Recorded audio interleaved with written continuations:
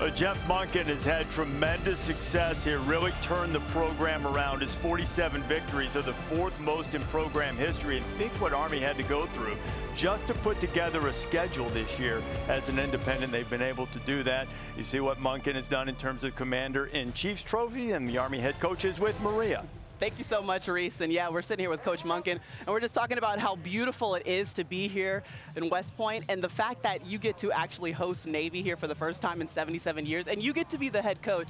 What has this week been like for you? It's it's a little surreal. Um, just just the nostalgia and the history of this game and, and knowing that it's here 77 years since the last time. And I told our players, I don't know if it'll ever be here again, so let's make the most of it. Well, it's interesting because your players have sacrificed so much, which we're used to them doing, but they haven't left West Point except for three times, you said, since June 1st. What has been required of them this season?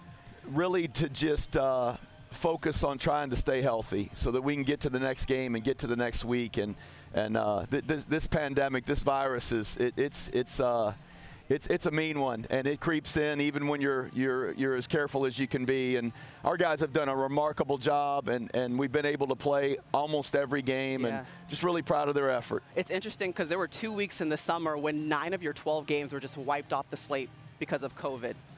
What is it like being able to put together a complete season and even make it to you know the Navy and Army matchup?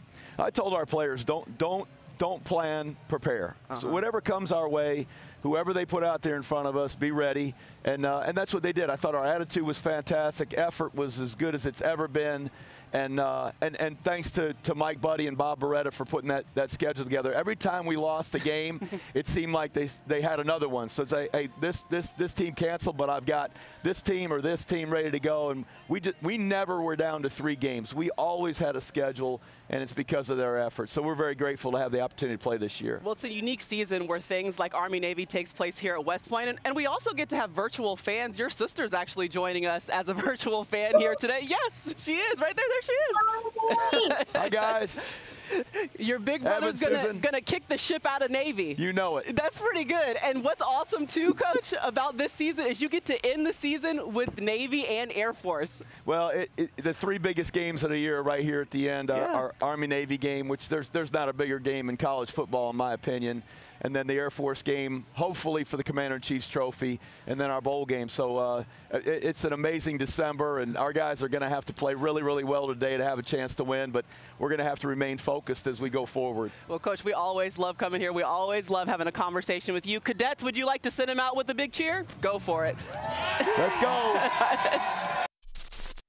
Thanks for watching ESPN on YouTube. For live streaming sports and premium content, subscribe to ESPN Plus.